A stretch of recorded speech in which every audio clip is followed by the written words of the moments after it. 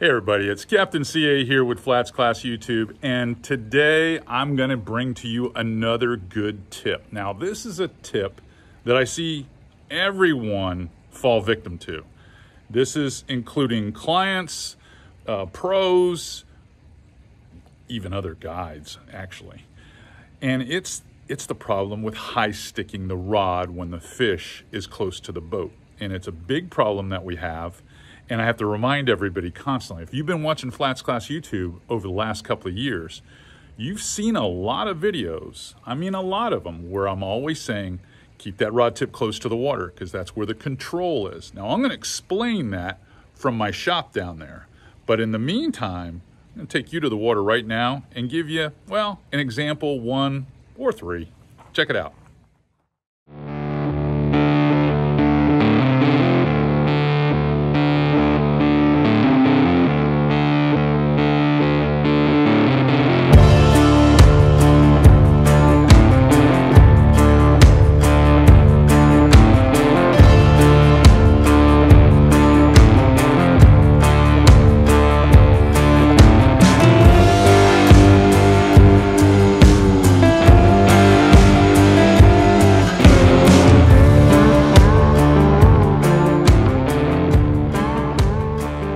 Episode of Flats Class YouTube is brought to you by Aquatraction, your go to solution for advanced marine flooring.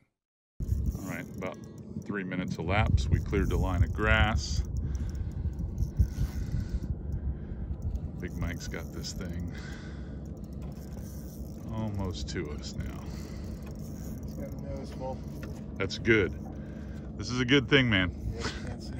Yeah, well, and they calm down a lot. They calm down a lot. Reel down close to the water where you have more control. There you go. You always want that rod tip within three feet of the water surface when they're close like that. That way, because if you're up high, you can't do much. We may have to have a part three to this. You caught a uh, full grown one. You're getting even. Going, I need some more grass around my face. Yeah, this thing's got some jets, man. when you get that grass up here close again, I will, we may have to go to act three on this. It's looking that way. Let me help you out with the clear. You're doing fine. Part of the game in here, it's gorilla fishing. There you go. Here he comes. Here he comes. Here he comes. Net him up and get a pick. The fruits of Mike's labor. A whopper, probably about 37, 38 inches long. Let me get a solid pig for you, man, and we're gonna revive this guy. So here's an example. High sticking is not just a hockey penalty. It's a fishing penalty too. You could break a rod tip. You could lose a fish because it'll be able to get up underneath the trim tab. The engine itself, if it's not trimmed all the way out of the water, or worse yet, go around the bow and get caught between the propeller on your trolling motor and the keel of your boat. How do you combat that? Because this happens all the time. And guides have to think ahead when clients are fighting fish because what they're trying to do is pull that fish as hard as they can and get up high and get the fish's head to the surface so it's easier to net or the fish can't struggle as hard because the power part of its body is really getting up out of the water. They've got them on the surface. But there's a flaw to that. And when you're high sticking a rod, so I'm, I'm using this as an example, you're fighting it with that tip. That's the weakest part of the rod. The strongest part of the rod is right here. How do you beat that? How do you go from fighting them with that little mamby-pamby wimpy tip to fight him with the meat of the stick?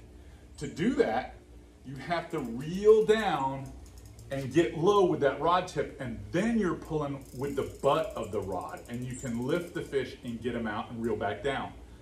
I don't care that you reel down to within three or four feet of the fish. I want the fish to be able to be subdued. I do not want to have to put you in the penalty box because he ran up underneath the trim tab or ran underneath the keel of the boat and got wrapped up in the trolling motor. Go check this out. Drop it. Barely hop it.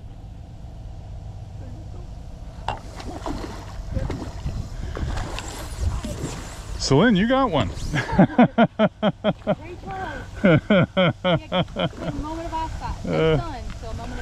uh, maybe that's your strength here. You did really well with that. You fed him. You fed that fish. I wonder if that's the one that was tailing.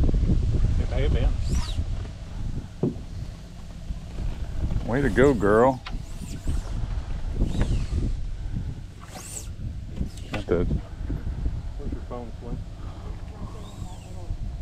reel down close. There you go.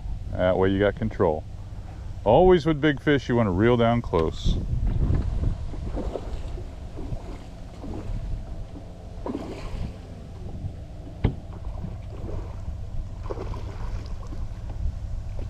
Good job. Good job.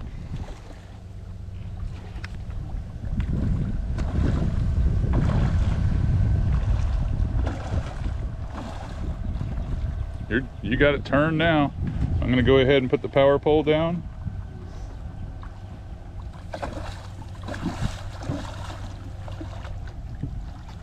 All right, I'll get it. We can net that one, Kyle. You videotaping too, or you just taking pictures? All for the gram, guys, all for the gram. Head right into the net. There you go. Finally. All right, I'm gonna come down and help. Came back inside. A, it's a lot cooler here in the studio. And B, it started to rain outside. The UPS guy started throwing boxes of Z-Man over the fence. So um, I pushed those in, started to rain. I was like, ah, we'll just come in here and finish this video up. You know, the whole high sticking thing is a lot like the guys that have the hard habit to break with setting the hook with circle hooks. It's the same type of feel.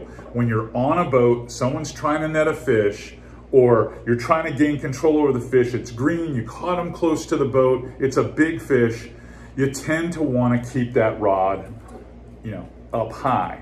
And if you just learn to crank down on that rod and get that tip low to the water where when you lift, you're lifting with this part of the rod and not the weaker tip end of the rod, you're gonna do a heck of a lot better. You're gonna land more fish. It's important. You got more control over the fish. You can swing its head whichever way you want to. When you're up here, there's not a whole lot you can do. That tip can get twisted. And if you're if you don't have one of those more, I'm gonna say, advanced rods, the rods that have um, high power X or spiral X or something like that where that tip won't twist, you're not gonna have much control over the fish. And it doesn't even have to be a heavy fish. I mean, a six, seven pound fish can give you all you want if you've got that rod too high. If you got it low to the water, you own him. You own him. He's not doing anything you don't want to. And most of the case, cases that I run into, I have, I have clients with big, heavy fish and they're trying to lift them too high. Never lift them too high. Ever, ever, ever. Always remember, fish is getting closer to the boat, reel down, reel down. Want to keep that rod tip just a foot or so off the water, if not right on the water. And get it where that way you can direct that fish to be netted or tailed or lip gripped with a with a boga or a fish plastic fish grip anything like that. That's what you want. That's what equals success. Guys if you like these fishing tips that we're bringing you and product reviews uh, adventure from the water with clients and friends and other pros and behind the scenes stuff that we do at Flats Class TV, please subscribe and share this channel with all your friends. Give us the big thumbs up, hit that notification bell so that when I'm here to give you a couple of handy tips to take to the water this weekend, you'll know about them. All right, until next time, Captain C.A. Richardson signing off. Keep those rods bent. I mean it.